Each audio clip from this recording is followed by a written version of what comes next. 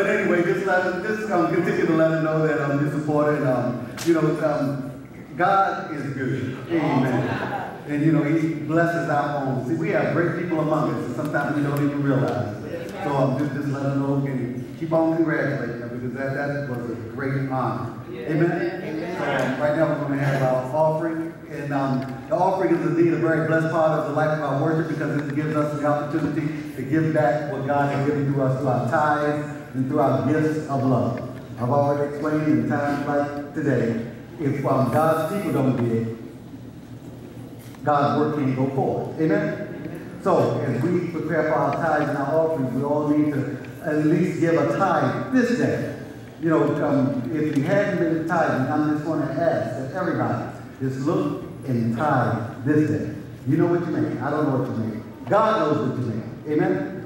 So I, I would like to get 100% tithing participation this day so that we can um, continue to um, bless, because I, I want to bless those that have gotten hit by this um, shutdown. That, that's my um, goal with this offering and with the ministry of kindness. And I believe we can do it. So that's why I want all of us to not give more this this time. I'm not asking that you give an extra offering. Just give what God asks you to give in Scripture. Amen. If we do that, I think we can um, bless bless um, our members.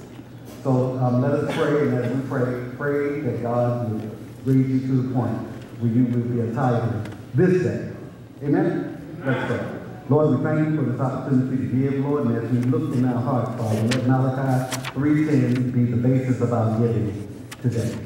As we bless the church, Lord, and as we bless our members. Lord, lift us up, Father, so that we can see you right now, Lord, in our giving. That we will give the way that you called us to give, Lord, so that we can be a blessing to all that we give to, Father, in this local establishment, this local body. So we thank you, Lord, we lift you up, and we pray that this seed will be good seed plant and planted in the fertile soil, that it will take root, hold, and increase in a hundredfold realm. In the name of our Lord and Savior, Jesus Christ. Amen.